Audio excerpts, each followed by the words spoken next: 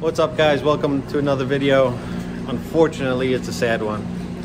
As we were cleaning up the Evo, getting it ready to hibernate for the winter, I did one last pull and of course something bad happened. I'm pretty sure I spun a rod bearing. Um, I drained the oil last night, which you'll see clips of and all the stuff that came out with it. Um, and today I'm gonna pull the pan and uh, more than likely pull the uh, the rod caps, see uh, see what type of damage we're looking at, um, and then go from there. Good thing is, I guess we'll have a whole bunch of content to uh, to go through. Um, bad thing is, this is probably going to take a little while. I need to take care of shop stuff as that's number one priority, um, and I'd like to uh, fully pay the car off before I start messing with with everything else. So. Um, have some patience, but I'll definitely keep you guys updated as we go along. Uh, we have other projects to work on as well. The, uh, the Audi needs the, um, the airbags installed. The Jeep's gonna need some work, so we'll have plenty of projects. Unfortunately, our favorite one is down for the count, so we'll see how it goes.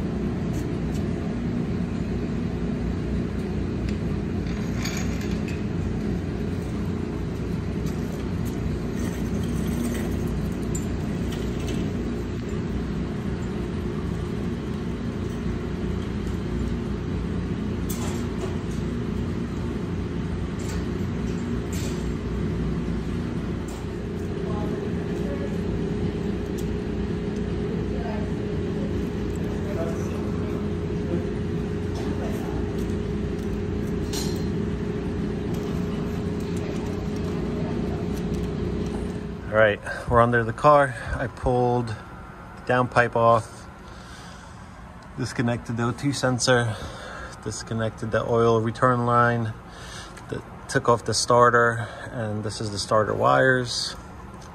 Um, there is a little inspection cover that I took off. And now the only thing left is just the oil pan, and then we'll take a look at what's inside.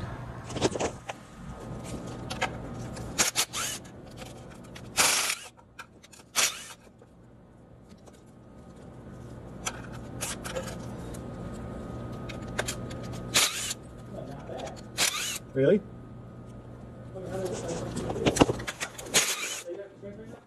I do. Yeah, let me just take off these uh, bolts.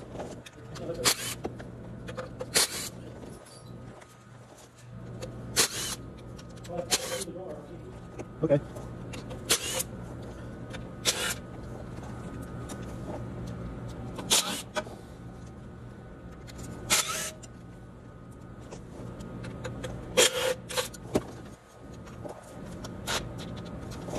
Big boy.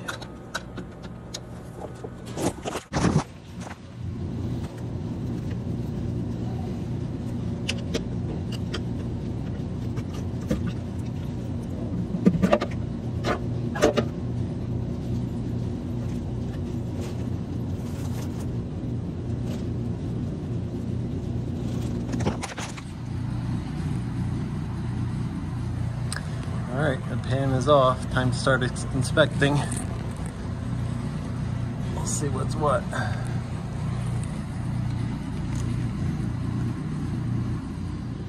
So far, we have some silicone in the uh, in the pickup, and definitely,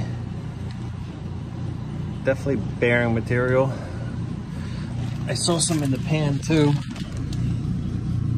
It's definitely in there. See it right there. It's kind of all over the place. Definitely back there too. So the bearing is definitely no good.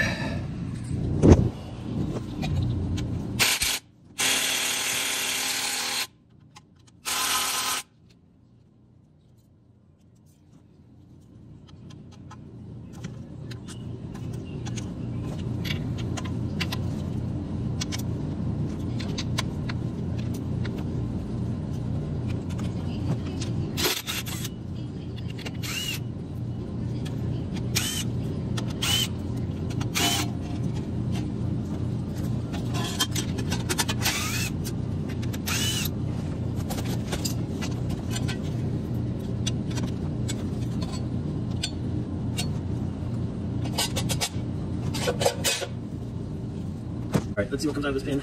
There's a bunch of stuff on the bottom.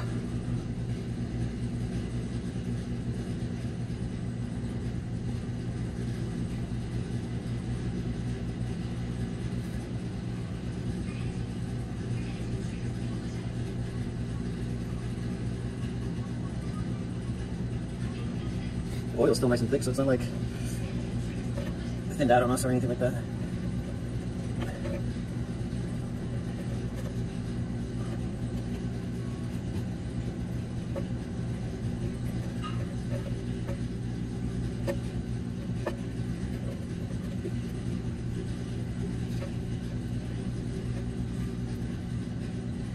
That's a, good chunk.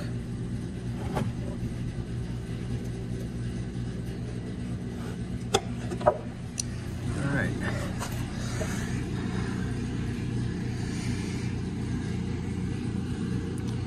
Definitely a lot of shit in there.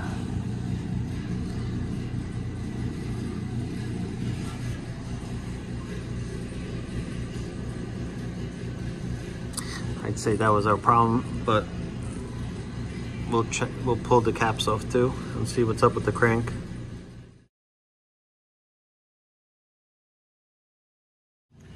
All right, now that we know that we have to pull this thing out eventually, um, I'm gonna rotate the crank and take off the uh, the rod bolts and the caps and uh, see see how the crank is. More than likely, I think we'll end up replacing the whole rotating assembly.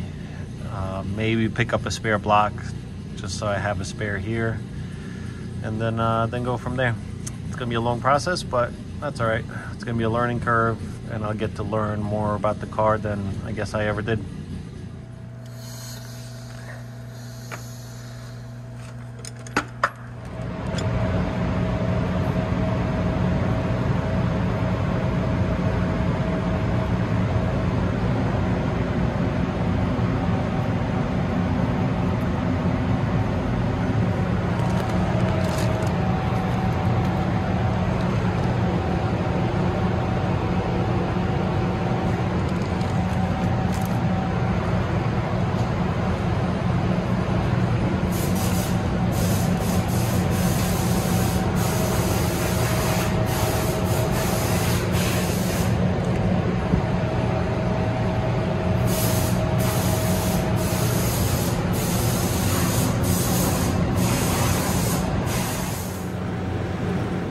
Guys, this one is gonna be a little short, but at least we know what's going on with the car.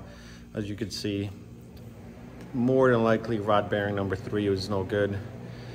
Um, the other ones didn't look any better. I guess once the material started tra traveling through the motor, it just kind of ate everything else up. The crank seems to be okay, but I think I think we're gonna rebuild it better. Um, maybe with some billet stuff. So we'll see how it goes. Like I said, shop priorities first, paying off the cars first. So this will sit for a little bit until uh, until we're ready for it.